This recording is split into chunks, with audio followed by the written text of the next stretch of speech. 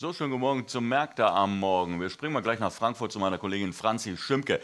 Dir einen schönen guten Morgen. Äh, tja, die Börsen gar nicht so schlecht aufgelegt. Gestern in den USA eine, ich will jetzt nicht sagen Rallye, das war es nicht. Aber wir haben uns von den Tagestiefständen deutlich erholen können. Hat das jetzt Auswirkungen auf den Handel hierzulande oder wird das einfach nur so Schulterzucken zur Kenntnis genommen? Von den Tagestiefständen hat sich der Dow erholen können, aber von den Tageshöchstständen ist er ja letztlich doch auch zurückgekommen, denn er war zeitweise über der 27.000 Punkte Marke, am Ende dann nicht mehr und nur ein moderates Plus von 0,2 Prozent. Es ist die große Frage, wann kommt das lang versprochene, letztlich auch ersehnte US-Konjunkturprogramm und äh, Paket, wann gibt es den Corona-Impfstoff? US-Präsident Donald Trump hat das zuletzt ja immer wieder in den Vordergrund gestellt. Das wird jetzt ganz ganz schnell gehen. Aber erste Stimmen sagen, ob das dieses Jahr tatsächlich noch der Fall ist, das bleibt abzuwarten. Und die Präsidentschaftswahl, die ist in, in 39 Tagen.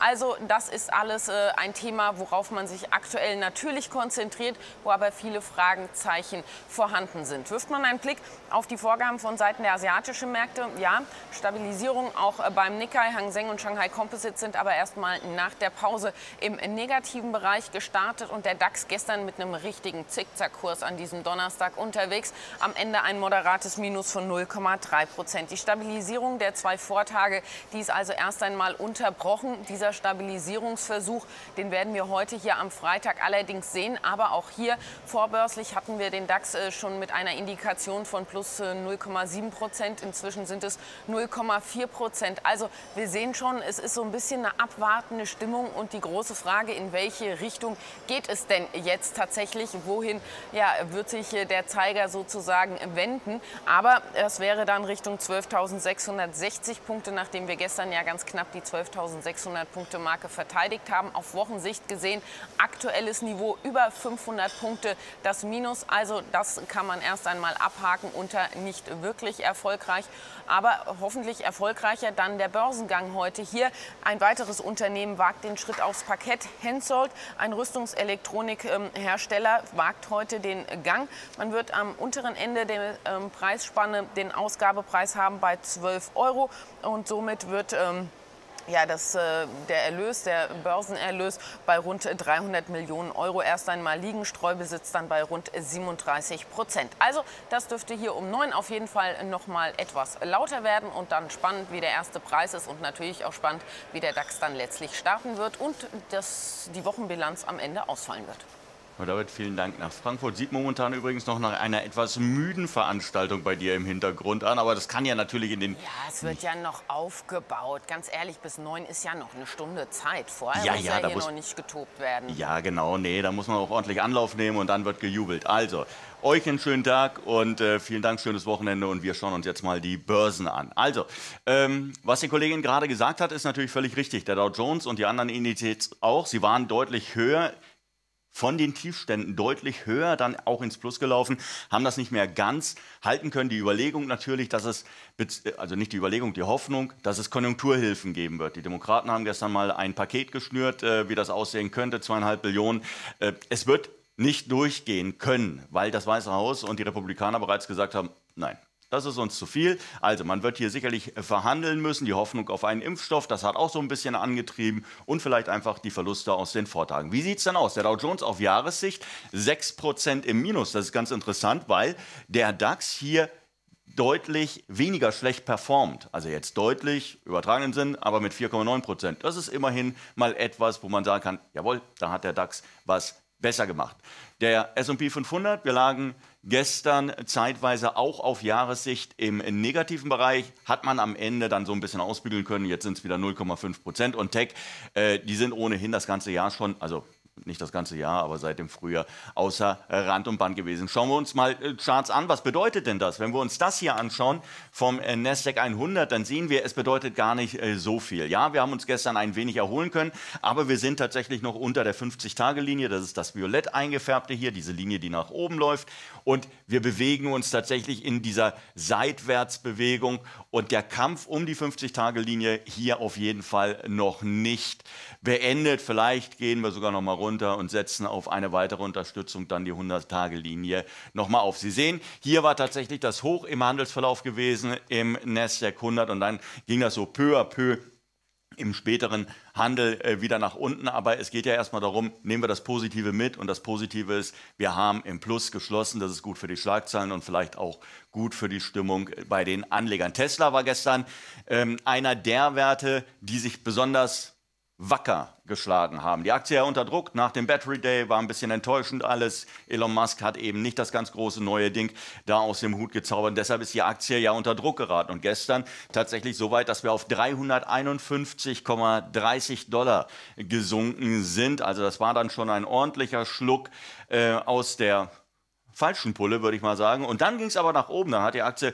tatsächlich, bis sie hier knapp auf die 400 gelaufen ist, zweistellig zulegen können. Auch hier gab es so ein paar kleinere Gewinnmitnahmen, aber insgesamt eine sehr solide Vorstellung, wenn man sich das gestern über den Tag, äh, über den Tagesverlauf dann mal angesehen hat. Und nach wie vor gilt, wir bauen uns hier so eine kleine Korrektur, so ein kleines Korrekturmuster auf. Und jetzt bleibt es mal abzuwarten, ob wir tatsächlich wenigstens hier über dieses Verlaufshoch drüber kommen würden. Also es war ja hier das Hoch, dann die Korrektur, dann gab es die Gegenbewegung und über dieses Hoch sollten wir drüber gehen, dann hätten wir tatsächlich mal wieder frische Impulse. Ansonsten auf der Unterseite ähm, haben wir hier dieses kleine Verlaufstief. Also in dieser Spanne bewegt sich das momentan und äh, da ist Tesla interessant. Geht es auf die eine oder andere Seite ähm, über diese markanten Punkte drüber, dann könnte noch mal ein bisschen Druck in die Geschichte kommen, nach oben oder auch nach unten. Amazon, die wollen einen Streaming-Gaming-Dienst bringen. Also das, ganz, das ist das nächste neue Ding. Das hat ja schon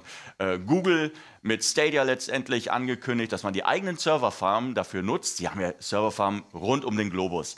Und das gilt natürlich für Amazon auch und das gilt für Microsoft und äh, viele andere Unternehmen auch. Aber in der Ausgestaltung, in der reinen Masse sind die natürlich, die, stechen die natürlich raus mit ihrem AWS, also mit der Cloud-Sparte letztendlich zusammen mit Google.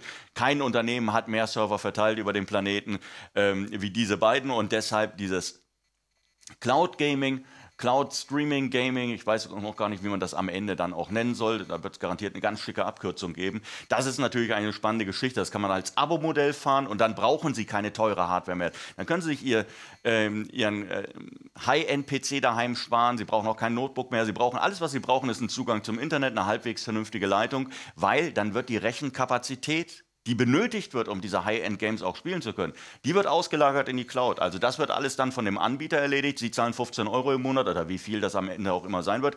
Und dann können Sie äh, Assassin's Creed oder äh, ja, die ganzen anderen, Schu also oder Shooter, andere Shooter, Assassin's Creed ist ja kein Shooter, aber ähm, dann andere Shooter spielen. Also das macht die Sache auf jeden Fall sehr charmant und ist unter Umständen ein sehr wachstumsträchtiger Markt. Beim DAX werden wir uns das Ganze heute sicherlich im Tagesverlauf mal anschauen. Ein Tag, Sie sehen es hier eingestellt, die Liste letztendlich gestern auf der Gewinnerseite Continental und natürlich auch wieder so Firmen, die langsam von den möglichen drohenden Lockdowns, Beschränkungen, wie man das auch immer nennen will, hier profitieren könnten. Delivery Hero auf jeden Fall hier vorne mit dabei. Auf der anderen Seite, naja, wenn es der Reisebranche schlecht geht, ne, dann ist MTU natürlich ebenfalls äh, betroffen. Adidas wundert mich so ein bisschen, weil man ja letztendlich irgendwie im Fahrwasser von äh, Nike da hätte durchaus auch nach oben laufen können. Wobei die waren gestern, muss man fairerweise sagen, nach dem massiven Kurs plus vor zwei Tagen dann auch etwas schwächer unterwegs. Schauen wir uns das Ganze auf fünf Tage an, dann sehen wir, aha, ja, das sind jetzt wieder die Covid-Plays, die da irgendwie ähm, oben mit dabei sind. Hier unten, MTU wundert nicht, Deutsche Bank wundert nicht mit dem ähm, Geldwäscheskandal und äh, BSF Münchner Rück. Also das ist jetzt alles das, was ich auch da unten erwarten würde in dem aktuellen Marktumfeld. Covestro, natürlich gibt es die Übernahmefantasie, ja, dass äh, ähm, Privatinvestoren aus den USA haben ja, sollen ja Interesse angemeldet haben und äh, jetzt sagen Analysten, tja, diese MA-Aktivitäten im Chemiebereich, das äh, dürfte hier ähm, tatsächlich sich fortsetzen in den kommenden Monaten und da wird es vermutlich noch andere Werte geben, die da ins Ziel von möglichen Käufern äh, geraten. Deshalb Covestro auch zuletzt stark unterwegs. Bei Bayer gibt es tatsächlich positive Entwicklungen.